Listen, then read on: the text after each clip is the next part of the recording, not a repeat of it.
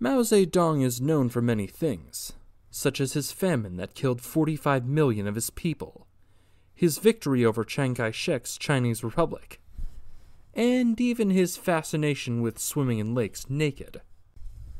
But did you know he was also known for mangoes? We all know the nutritious, delicious benefits of mangoes. Still, when Mao received a gift of seven mangoes from the Pakistani foreign minister, Mian Arshad Hussain, Mao didn't know what to think of it. Mao eventually gave the mangoes to the loyal laborers stationed at Tsinghua. This gift followed the message of giving the workers leadership of the revolution.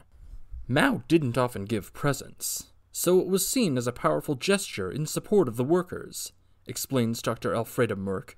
You might be wondering, what did the workers do with the mangoes? Subscribe to part 2 to find out what happened to the mangoes.